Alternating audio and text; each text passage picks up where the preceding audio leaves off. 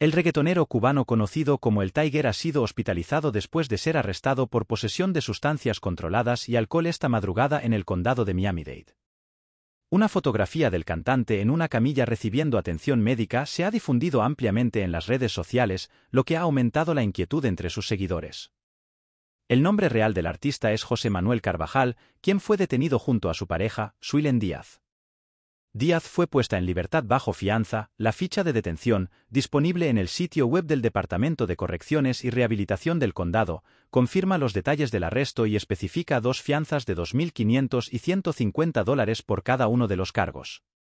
Sin embargo, no establece una conexión directa entre la causa del arresto y la necesidad de hospitalización.